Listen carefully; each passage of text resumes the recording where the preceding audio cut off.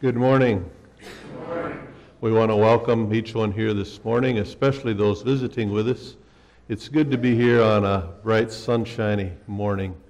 And it's good that we can come together as God's people to worship and to praise Him. We especially want to remember the Brenner family this morning and the loss of their son, and also for the community, um, for his classmates in school. We know that we don't go in our own strength, but by the grace of God.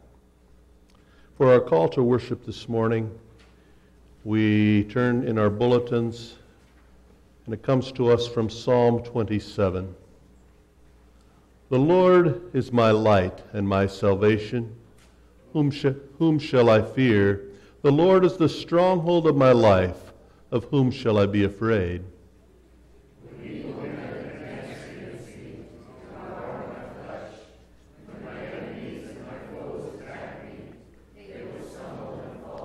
Though an army besiege me, my heart will not fear. Though war break out against me, even then will I be confident.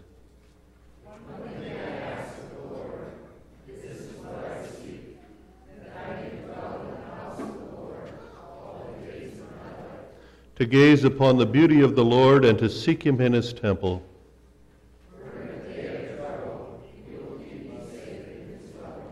He will hide me in the shelter of his tabernacle and set me high upon a rock.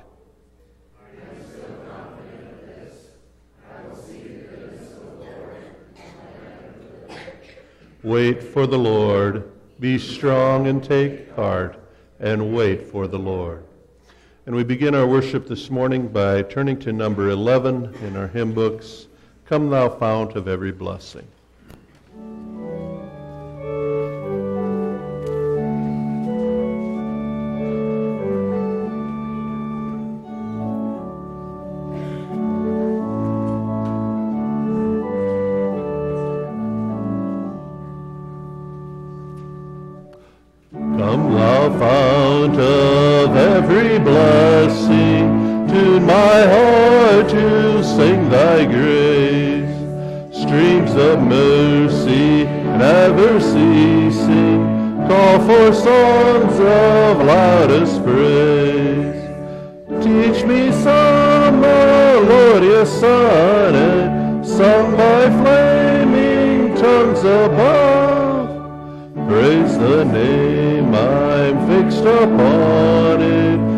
Name of God's redeeming love.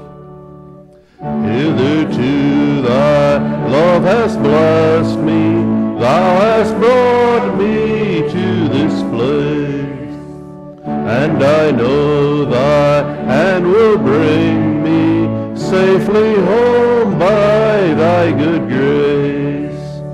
Jesus sought me when a stranger,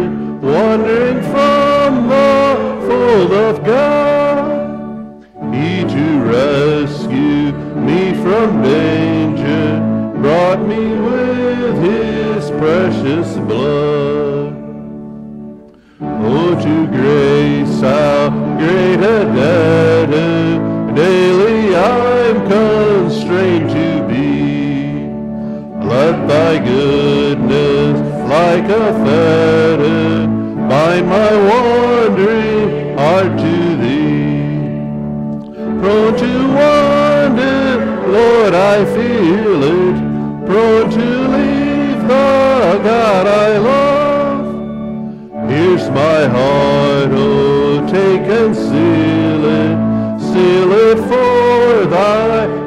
Above.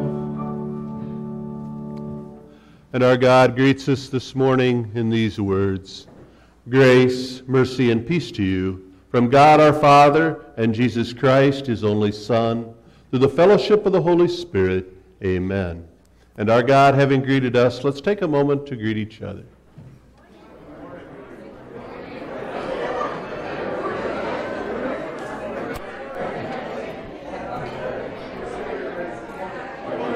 Good morning, Kyle. Good. How about you?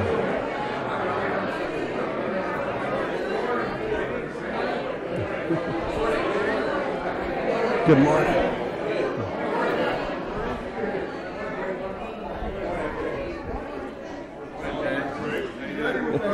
morning, Nadia. morning. How are you? Good. Morning, Kate. Morning. Good morning. Morning. Good morning. Good morning. Yes. Good job.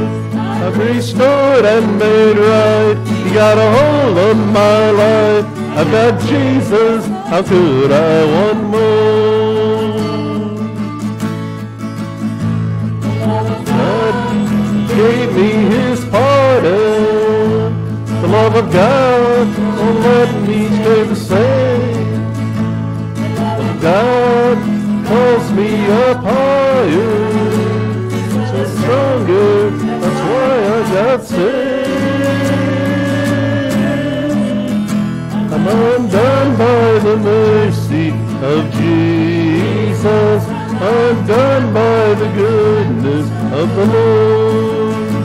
I'm restored and made right. He got a hold of my life. I got Jesus. How could I want more? Jesus, how could I want more?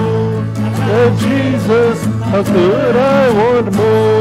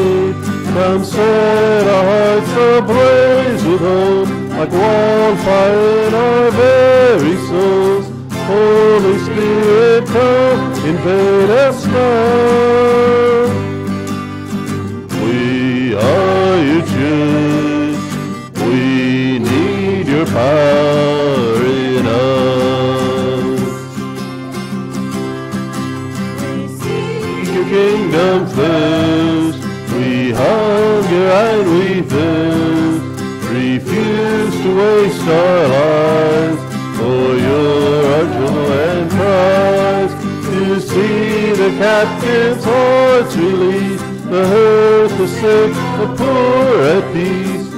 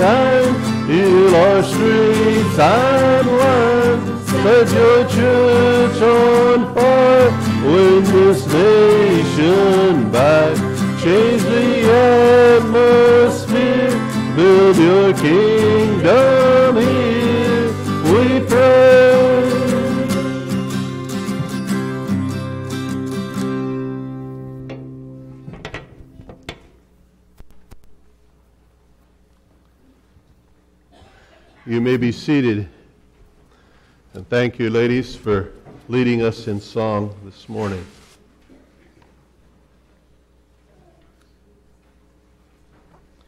For our guide for living this morning, we turn to a responsive reading of the law as a rule of gratitude. Hear, O people of God, the law which the Lord speaks in your hearing this day, that you may know his statutes and walk according to his ordinances.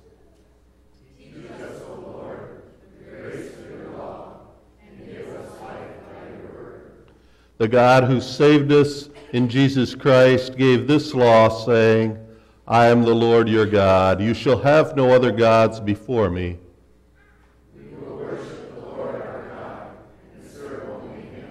You shall not make yourself an image of anything to worship it.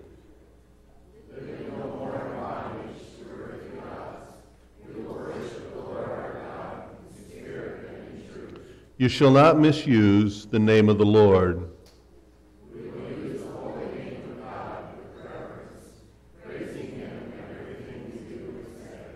You shall observe the Sabbath by keeping it holy, for in six days you shall labor and do all your work.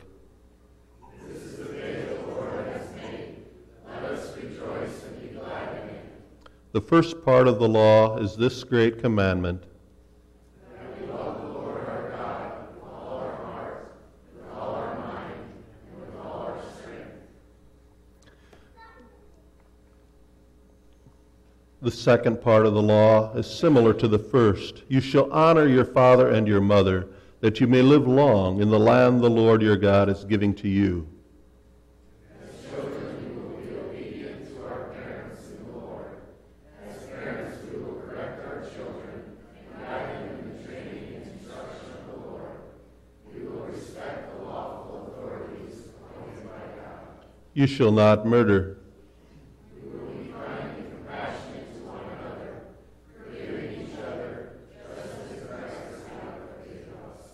You shall not commit adultery.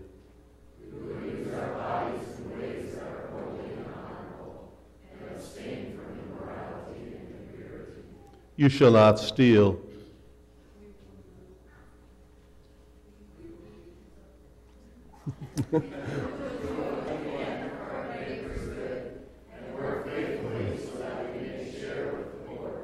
You shall not give false testimony against your neighbor.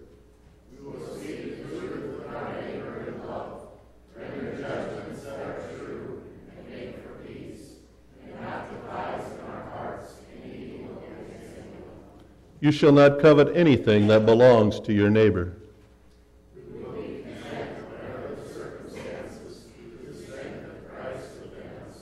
Thus we must love our neighbor as ourselves.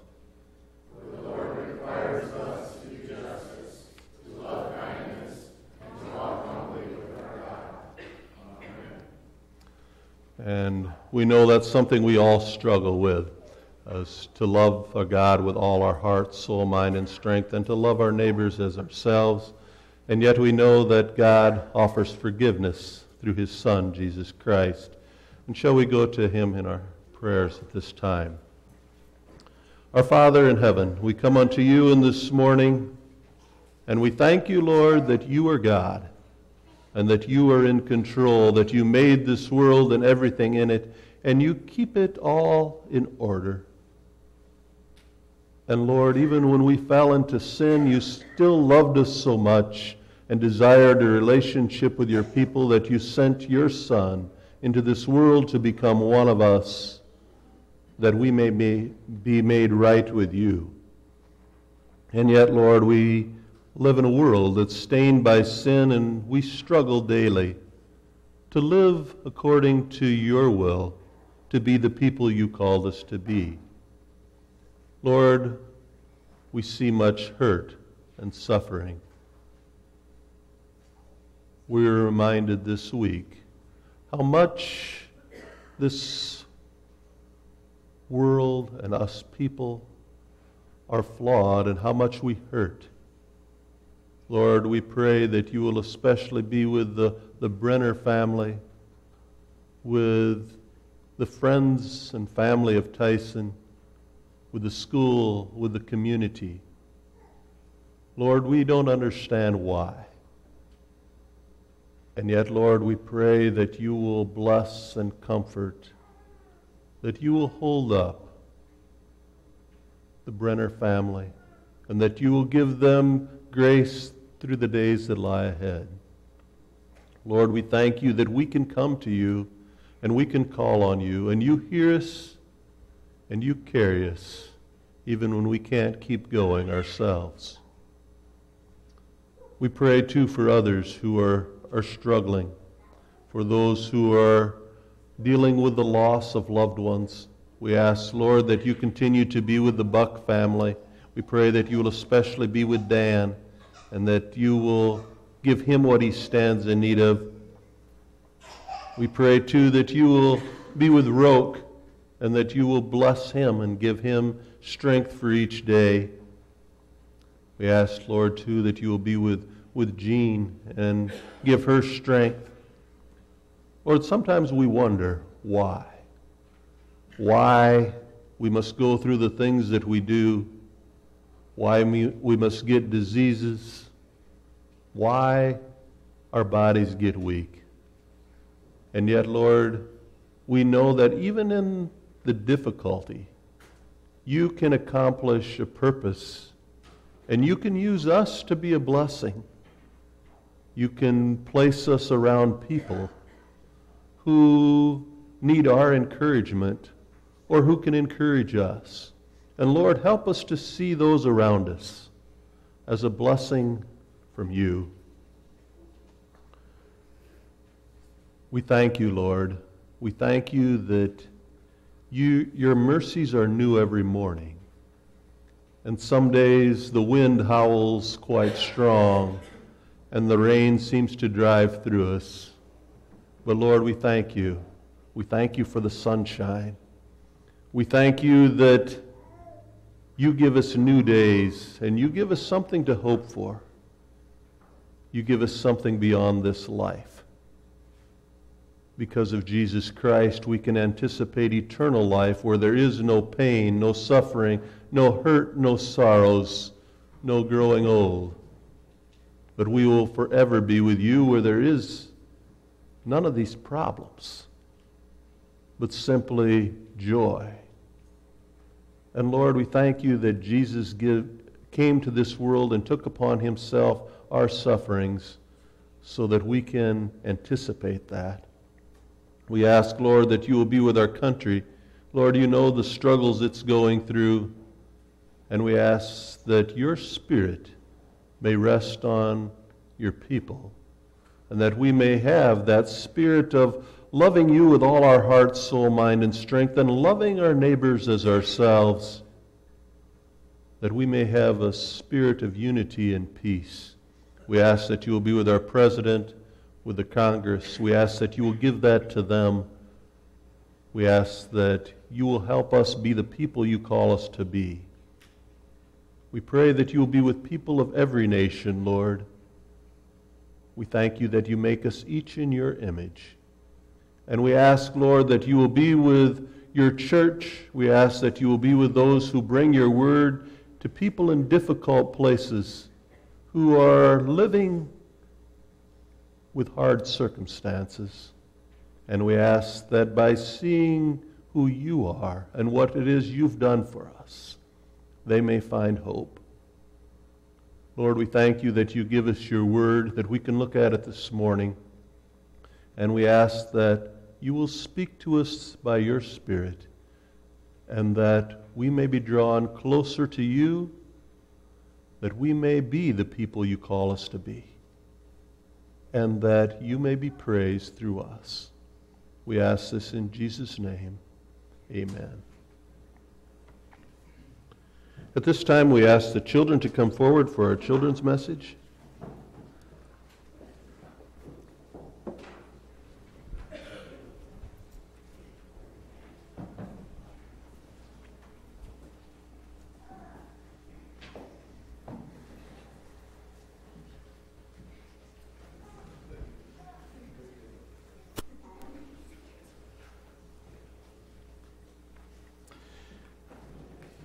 It's good to see you all here in this morning. You know, I've been coming here a few years, and when I first started coming, some of you weren't very big. Um, in fact, I remember the first time I preached in Grandview, it was in the old church yet. Um, Isabella got baptized um, that Sunday. So you've grown a bit since then. Um, and how do you suppose you got from being these little babies to getting bigger and getting stronger? You run races and you do very good at that. You play football, you do swimming, you do all sorts of activities. How is it you go from being little to getting bigger and getting stronger? You eat. You're right, you eat. So do you just sit and eat every day, all day long? No. What else do you do? You lift weights.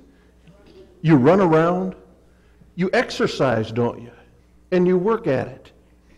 Um, some of those of you who are involved in sports, you have coaches who help train you to get stronger and better at what you do.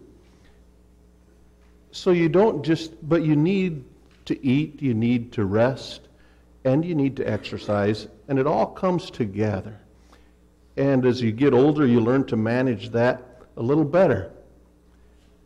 You can't just sit and eat. Even though we sometimes like doing that, don't we? I enjoy doing that too much, I agree. But, um, but we need a little more than just sitting and eating. And we come to church and we get fed. We get fed God's Word and then we have to go out and put it into practice. And sometimes that's the work of it. Because we talked about loving our neighbors as ourselves, but sometimes we think God really don't know our neighbors that well. Um, and yet, we're called to do that, and it takes work to be able to do it. And I brought something for you this morning.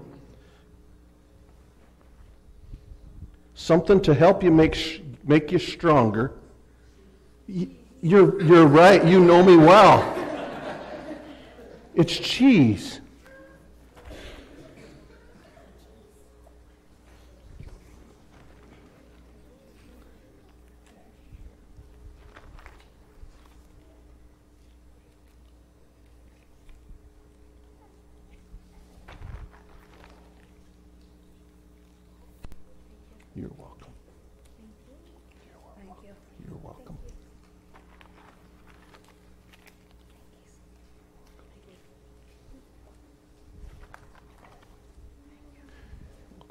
And cheese will help make you stronger, help make your bones stronger, your teeth stronger. But you're going to have to go out and work at it. Um, and that's the way our lives are. God gives us what we talked about last week, our daily bread. But then we have to go out and work at it. And we trust Him to make us stronger, to give us strength for each day. Thanks for coming up this morning.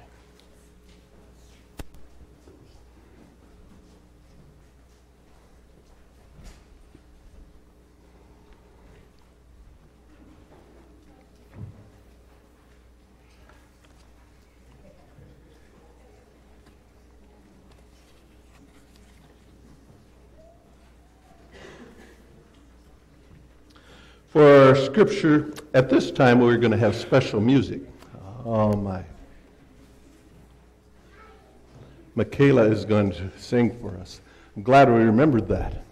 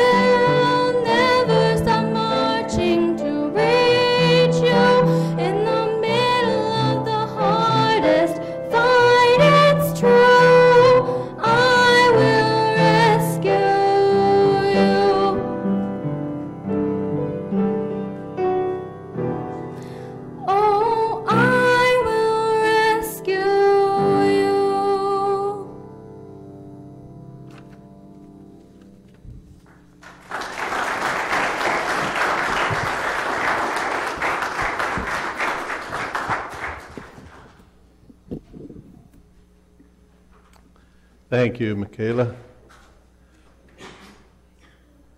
And we remember that our help comes in the name of the Lord who rescues us. For our scripture this morning, we turn again to the book of Exodus. Exodus chapter 17.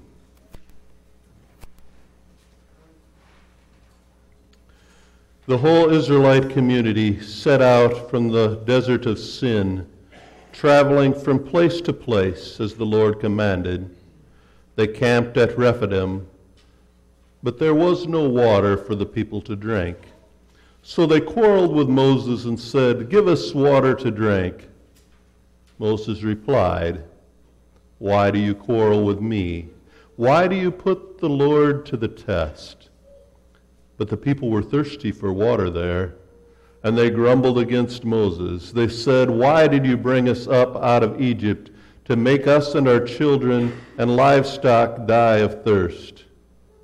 Then Moses cried out to the Lord, What am I to do with these people? They are almost ready to stone me.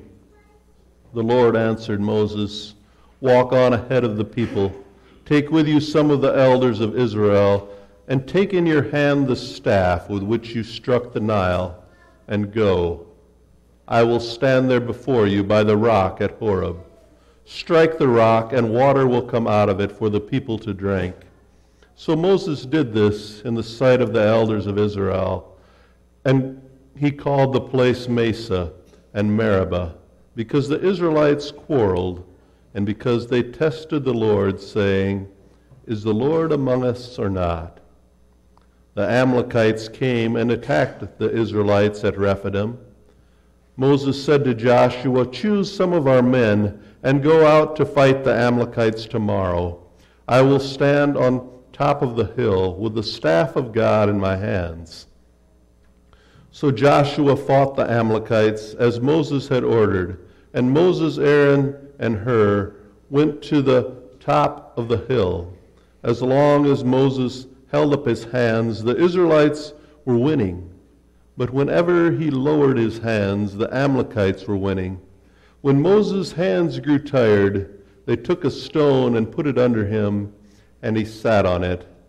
Aaron and Hur held his hands up, one on one side, one on the other, so that his hands remained steady till sunset. So Joshua overcame the Amalekite army with the sword. Then the Lord said to Moses, Write this on a scroll as something to be remembered, and make sure that Joshua hears it, because I will completely blot out the memory of Amalek from under heaven. Moses built an altar and called it, The Lord is my banner. He said, For hands were lifted up to the throne of the Lord. The Lord will be at war against Amalek, against the Amalekites from generation to generation. Then we turn also to the book of 2 Timothy. 2 Timothy chapter 4, and we'll read the first eight verses. 2 Timothy chapter 4, beginning at verse 1.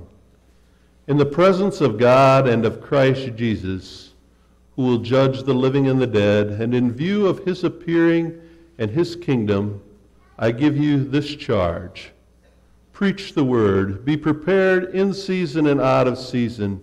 Correct, rebuke, and encourage with great patience and careful instruction. For the time will come when men will not put up with sound doctrine Instead, to suit their own desires, they will gather around them a great number of teachers to say what their itching ears want to hear. They will turn their ears away from the truth and turn aside to myths. But you keep your head in all situations. Endure hardship. Do the work of an evangelist. Discharge all the duties of your ministry. For I am already being poured out like a drink offering, and the time has come for my departure. I have fought the good fight, I have finished the race, I have kept the faith. Now there is in store for me the crown of righteousness, which the Lord, the righteous judge, will award me on that day, and not only to me, but also to all who have longed for his appearing. This is the word of the Lord, and may God add his blessing to it. It's said that life is a battle, it's a struggle, it's a fight. I remember a number of years ago, they were having a celebration in Corsica. I think it was probably on the 4th of July. And they dug this pit and they filled it with water. And they turned three pigs loose in that pen. Um, they probably weighed close to 100 pounds. And they had three teams of three guys get in the pen with the pigs. And the goal was to take the pig and set him butt first into this 50 gallon barrel. It seemed like a fun thing to do. I remember one of the teams, the guys came dressed up in three piece suits. And it was a challenge to get the pig caught, first of all, and then to try to stick him in the barrel. But the thing was, you weren't just working to try to catch the pig, because the other teams, if they saw you were getting close, would play defense, and they would tackle them into the mud. It was a fight. Needless to say, sometimes our lives can seem that way, don't it? We can think that we've got a goal that we need to reach, and it can be challenging in itself. But not only that, there's those who are fighting against us, trying to bury us in the mud of life. As we look at this book of Exodus, the people of Israel are on a journey. And it seems like it's almost like a roller coaster ride where they're on top of the mountain one day and a little bit later they're in the bottom, in a valley. They came through the Red Sea. God parted it for them. They walked through on dry ground. He drowned their enemies and they sang praises to the Lord. And then they start the journey, and there's no water. And then when they find water, it's bitter. And God has Moses put a stick in it, and it turns sweet for them. And then they go a little further, and there's no food. And God sends manna and quail. He gives them an oasis to rest in, and they journey. And now again, there's no water. And they go back to their old habit of grumbling and complaining against Moses. It was a problem. There's no doubt about that. But what good would it do to grumble and complain against Moses?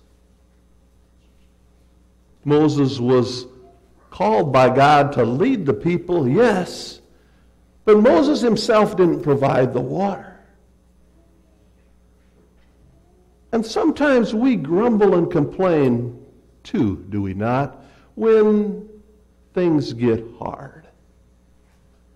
When there's too much water, when there's not enough water, when school is hard, and what good does it do? What good does it do to grumble and complain? I remember Doris Marcus, sister of Clarice de Vries, saying her, her dad would say, complaining does you no good. It does you no good. It just makes you tired and weary. And if you think of soldiers being trained for battle, and just perhaps you're told you need to do push ups. And you do about all the push ups you can do. And you run all the miles you think you can do. What good does it do to complain to the drill sergeant, you're being too hard on us? For those who are in the military, I think they know better than to do that. I recently heard of a young man who, who went to basic training, and when he graduated, his last name was Boss, and they announced him as Bass. And his parents were a little disgusted about that. They said, Why didn't you correct him? No. we saw guys do that. It's not worth it. and to grumble and complain to a drill sergeant isn't worth it, even if they've maybe gone a bit overboard. And for those involved in athletics, if you've been given a very hard workout and you start to grumble against the coach, it usually doesn't do much good. You find yourself having to work even harder. And the Israelites were being trained. They were being trained to journey to the promised land, and they would have lots of struggles along the way. And so God had them go without water for a while to develop a patience, to develop a trust in Him. And grumbling wasn't doing any good.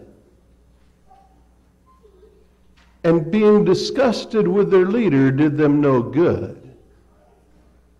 In fact, they would have done well to go to Moses and say, We are without water, but what is it we can do to help get through this situation.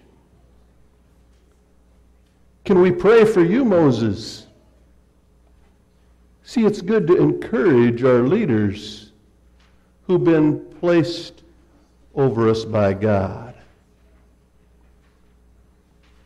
Oftentimes, when problems come, we forget to pray. We forget to look that there's more to this than just our problem. Often we focus too much on just us and not on the bigger picture, on what God may be trying to do. God was giving them strength, endurance for something that would follow. See, a battle was coming a battle was coming and they would need to be able to endure through that. And when God had them go without water, he wasn't trying to kill them. He was just trying to make them a little stronger, perhaps physically, and also in their faith and trust in him that he would be with them through the struggles of life. See, this book of Exodus resembles much the plan of salvation. And you and I, too, are on a journey.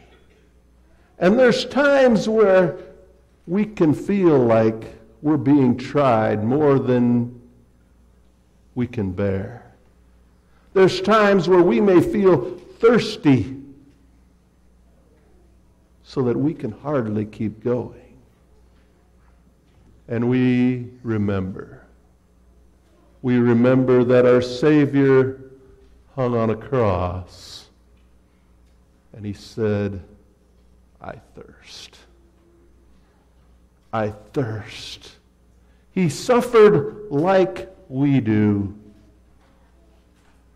and yet he was doing the will of his Father. And there's times where we can seem like we're being dried up almost. And yet we're called to do the will of our Heavenly Father. The Israelites were on a journey, and so are we, to a better place. But along the way, we're going to face battles. And the next battle the Israelites would face was the Amalekites. And the Amalekites were descendants of a guy named Amalek, who was a grandson of Esau 400 years earlier.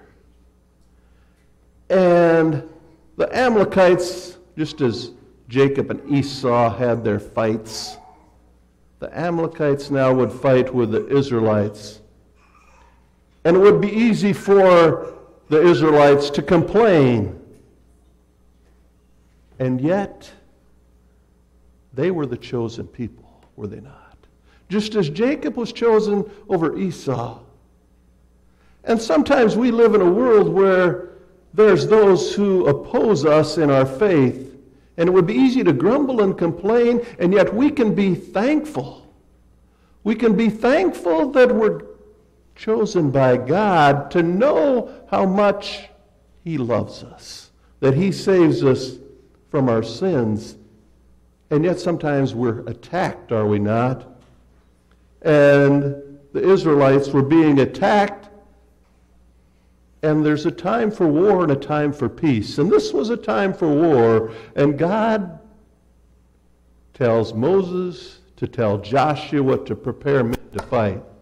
And I think we sometimes forget how many people there were. About two and a half million Israelites. About 600,000 men. This wasn't a small army. And they weren't experienced in fighting, and they'd have to go out and fight the Amalekites. But they do. They go out to fight, and Moses goes to the top of the hill because they were asked to be faithful. But the victory wouldn't come from themselves. Victory would come from God. And so Moses holds up his hands and calls out to God. He looks to God for blessing on the Israelite army. And when he holds up his hands, the blessings come down and the Israelites are winning. But Moses isn't a young man anymore. He's 80 years old. And even if he was young, to hold up your hands all day would get tiring. I remember playing basketball, and we had a coach who was diligent in training us. And he required us to shuffle, to play defense with your hands up. Used to have that chant, hands up, defense. And he said, a game is 32 minutes long, and you should be able to shuffle 32 minutes with your hands up. Eventually, our hands would start to get tired. We would want to grumble and complain, but knew better. We were being trained. Moses had his hands up, calling on God for blessing on the people and God was blessing as Moses looked to him. But his arms began to get tired. Sometimes we get tired, do we not? Sometimes leaders can get tired. And Aaron and Hur, they see the problem. And they have Moses sit on a rock and they get next to him and they hold his hands up. They hold his hands up so that the people can be blessed. Because blessing came from God. And you and I do well to look to God for our blessings. Sometimes I think we live in a country where we think it should be provided by the government. And maybe God wants us to do a little something ourselves. He wants us to be diligent, remembering the blessing will come from Him. We're called to work hard. But remember, we don't make it happen. It's God who makes it happen. And God would provide a victory for these people. They were called to be diligent, but God would give the victory. We all face battles, battles of one kind or another.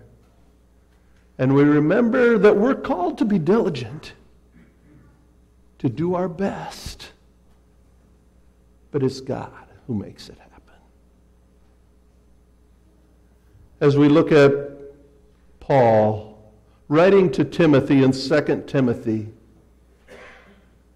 he's encouraging a young Timothy to be faithful, to do his best in life, to do the best, filling a spot that Paul had had. He says, Preach the word in season and out of season. Be prepared. Correct those who are erring. Rebuke them if necessary. Encourage with great patience and careful instruction. Do your best, Timothy. He said a time is coming when people won't put up with sound instruction, but will find someone to say whatever they want to say. We kind of live in that type of world too, don't we? Whether it be with our health care, um, sometimes you have that. You know, you go to a doctor and they say, um, you know, to get well, you really should do this. I can almost tell you, if I went to the doctor, they say, You want to be better? Lose a little weight. Get on an exercise program. Watch what you eat. But we think, boy, there's a better doctor than that, isn't there? I'll go to another guy. He'll give me um, better news. We come to church and we have God's word for us. And it tells us how to live. But surely there's a better way than that. We like to do it our way. And Paul tells Timothy, you're going to face people who think that way. And you need to be firm with them and yet patient. And it's a struggle. Keep your head to you, Timothy. Keep your head in these situations. Do your work diligently. Remember, remember you're going to a better place and you're called to be faithful for a little while. We sing that song, We're Marching to Zion. And we're on a journey. Just as the Israelites were on a journey to the promised land, we too are on a journey to a promised land. And it isn't always easy. It's a challenge, it's a struggle, and we're called to be faithful. We forget sometimes this world isn't our eternal home. We're going to a better place. We're just passing through. And on the way, on the way, we're going to get dirty sometimes. It's kind of like the guys trying to put the pig in the barrel. You're going to do that game, you're going to get dirty. And living in a sinful world, we're going to, at times, slip and fall. We're going to have to contend with a world that doesn't always appreciate Christianity we're going to get knocked down. We must remember. We must remember where the goal is and to keep fighting the fight. I remember quite a few years ago, I was trying to encourage a man who was struggling very much And I went to the hardware, not the hardware store, the drugstore in Corsica then. It used to be a gift shop too. And I found a plaque there. and it had a poem on it I'd like to read for you. It's entitled, Don't You Quit. When things go wrong, as they sometimes will, when the road you're trudging seems all uphill, when funds are low and debts are high, and you want to smile, but you have to sigh. When care is pressing you down a bit, rest if you must, but don't you quit. Life is queer with its twists and turns, as every one of us sometimes learn, and many a fellow turns about when he might have won had he stuck it out. Don't give up, though the pace seems slow, you may succeed with another blow. Often the goal is nearer than it seems to a faint and faltering man. Often the struggler has given up when he might have captured the victor's cup. And he learned too late when the night came down how close he was to the golden crown. Success is failure turned inside out, the silver tint in the clouds of doubt, and you never can tell how close you are. It might be near when it seems afar. So stick to the fight when you're hardest hit. It's when things seem worse, you must not quit. And Paul was writing to Timothy and encouraging him keep on. Keep on fighting the fight. And Paul could say it from experience because Paul himself had been rejected. He had been cast out of churches in many places. He had been put in prison. He had been stoned. And he kept on keeping on, not by himself, but by the strength of God.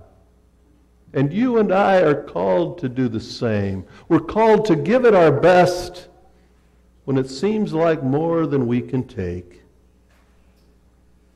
We remember that Jesus himself came came and fought a fight that he didn't want to. He gave it his all, and he cried out, My God, my God, why have you forsaken me? He died for you and me. He finished a fight that we couldn't fight. And so, no matter what we go through in life, we've already been given the victory. It doesn't mean it's going to be easy. But the battle's in the Lord's hands. And He won it for us. And if we look to Him, we can find strength to make it one day at a time to the final goal. May God give us the grace to look to Him this day as we anticipate eternity, a promised land. Amen. Our Father in heaven, we come unto you this morning, and Lord, we confess we're quick to grumble and complain, to feel sorry for ourselves when life gets hard. Lord, help us to remember how much you've done for us. Help us to fix our eyes on you. Help us to remember others who went through very difficult times and how you bless them in the midst of difficulty as they look to you. Lord, we thank you. We thank you that our eternal destiny does not depend on us. You've done that for us in Jesus Christ. But you call us to be faithful and to follow where you lead. Lord, may your Spirit rest upon us and give us the grace to do that. We pray in Jesus' name. Amen. And now let us stand and profess what we believe in the words of the Apostles' Creed. I believe in God the Father Almighty, maker of heaven and earth, and in Jesus Christ, his only Son, our Lord, who was conceived by the Holy Spirit, born of the Virgin Mary, suffered under Pontius Pilate, was crucified, dead, and buried. He descended into hell. The third day he rose again from the dead. He ascended into heaven, and sitteth on the right hand of God the Father Almighty. From thence he shall come to judge the quick and the dead. I believe in the Holy Spirit, the holy Catholic Church, the communion of saints, the forgiveness of sins, the resurrection of the body, and the life everlasting. Amen. You may be seated, and while our offerings are being received, we'll sing the first three stanzas of number 151 A Mighty Fortress is Our God.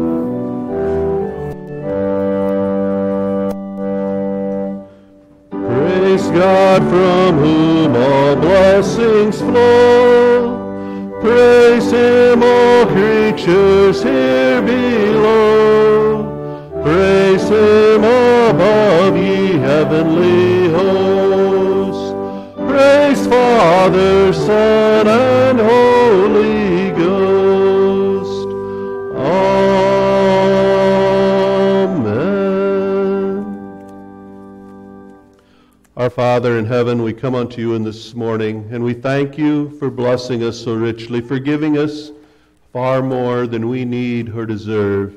We thank you for an opportunity to give back a portion of what you've blessed us with, and we ask that you will multiply it, that you will use it for the furtherance of your kingdom, that you will use your church here on earth, that you will make it strong, and that it will touch the hearts and lives of many with your love, mercy, and grace, and that through your church, people may see Jesus. They may see you and find hope for salvation, for eternal life.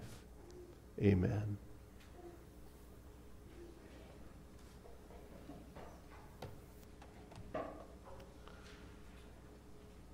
For our benediction this morning, we turn to the book of Hebrews, Hebrews chapter 12, where it says, Therefore, since we are surrounded by such a great cloud of witnesses, let us throw off everything that hinders and the sin that so easily entangles, and let us run with perseverance the race marked out for us.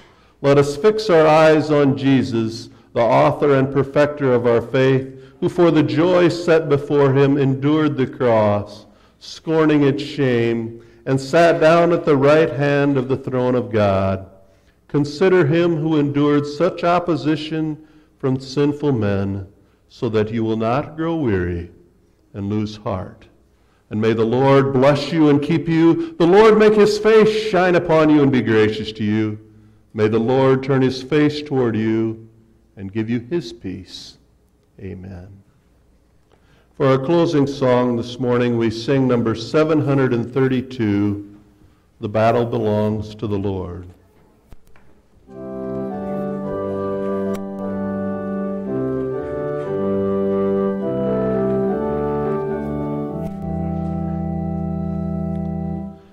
In heavenly army we'll enter the line. The battle belongs to the Lord.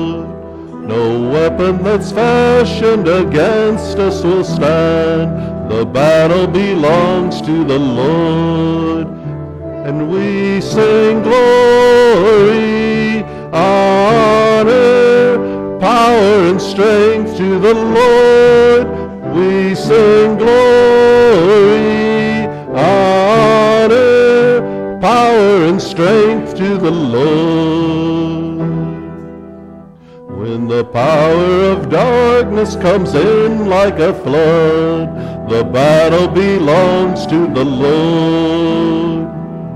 He's raised up a standard, the power of his blood. The battle belongs to the Lord.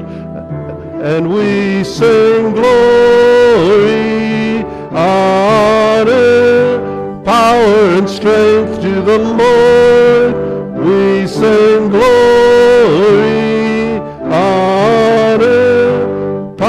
and strength to the Lord. When your enemy presses in hard, do not fear. The battle belongs to the Lord.